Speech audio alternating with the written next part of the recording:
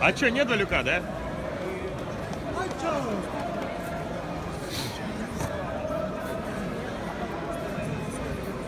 Востриков, ты продал победу? Вот ты, блин. И почем? За слово Андрея.